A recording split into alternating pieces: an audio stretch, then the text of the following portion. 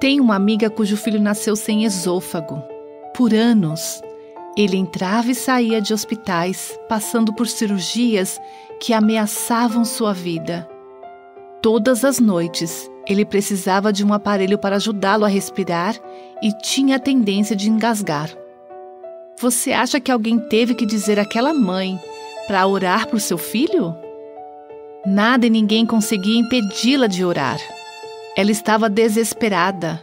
Ela sabia que a única esperança de seu filho era que Deus interviesse e poupasse sua vida.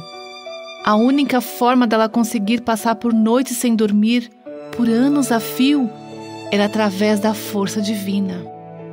Quer percebamos ou não, todas nós precisamos de Deus, assim como aquela mãe. E como ela, todas nós precisamos orar com desespero.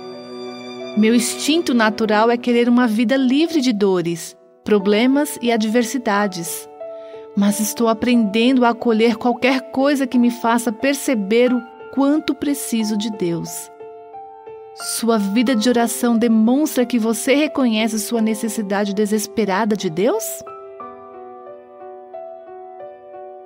Você ouviu Buscando a Deus com a viva nossos corações.